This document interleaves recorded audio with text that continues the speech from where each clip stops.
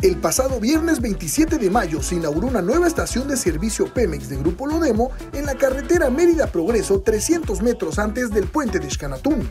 Comenzaron con la ceremonia de protocolo y continuaron con la bendición del lugar para después realizar el corte del listón y tomar la foto oficial con el personal de la estación de servicio.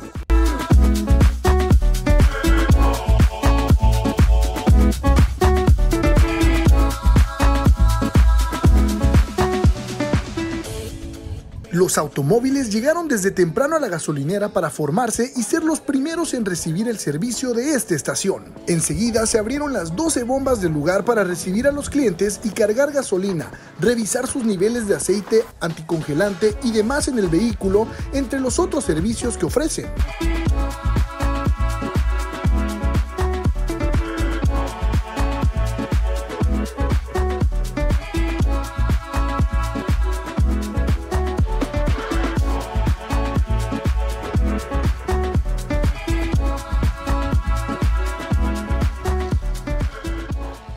Los automóviles que estaban formados comenzaron a pasar a las bombas para ser despachados y recibir premios y promociones por el día de inauguración. La estación cuenta con personal capacitado para brindar al cliente el mejor servicio. Con imágenes de Miguel Martín para Noticieros Telesur, Oscar Ventura.